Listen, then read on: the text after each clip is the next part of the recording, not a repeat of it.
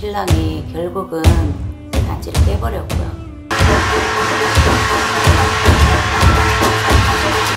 네 마음을 갖다 가라.